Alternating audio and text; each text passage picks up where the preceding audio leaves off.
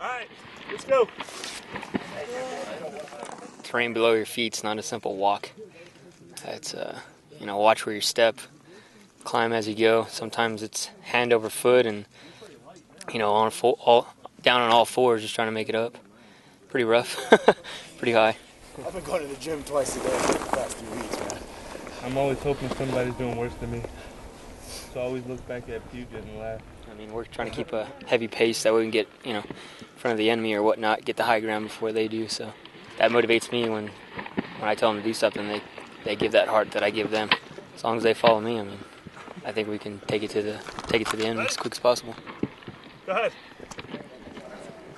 that uh, there are fighters in position vicinity Kilo Echo 3250 that are going to attempt to engage the mounted element.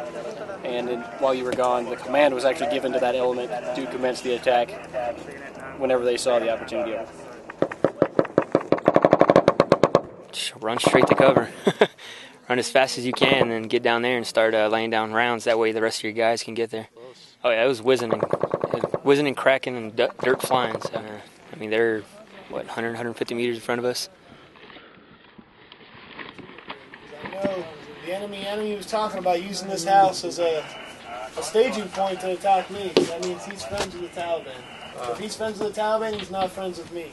Yeah, yeah.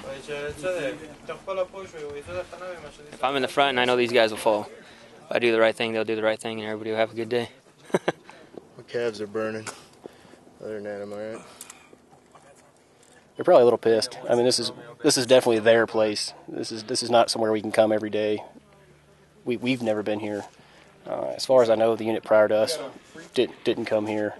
So it's, this is definitely in, insurgent, easily in, influenced insurgent area. So.